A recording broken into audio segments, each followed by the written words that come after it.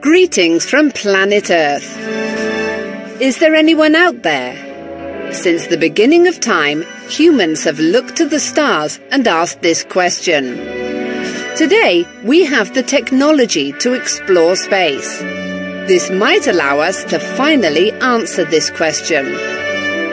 Our journey into space started with Sputnik 1 in 1957.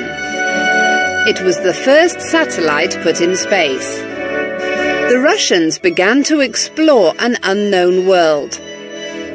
In 1977, NASA scientists launched Voyager 1 and Voyager 2. The two spacecraft were on a mission to find out more about space and send the information back to Earth. The spacecraft also carried a very important message.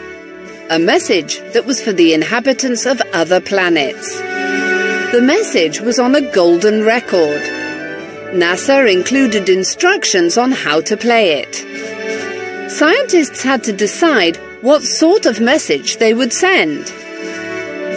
Scientists wanted it to represent all the people, languages and species on our planet. So they decided to include information in writing, pictures and sounds that tell the story of planet Earth. They sent greetings from Earth in 55 different languages, as well as sounds like thunder and a whale song. There were 115 pictures and 90 minutes of music from around the world. Carl Sagan, a famous scientist, said that the record would carry a hopeful message about life on our planet. The message hasn't been answered yet,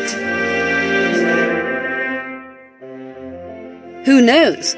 Maybe E.T. is about to call home after all.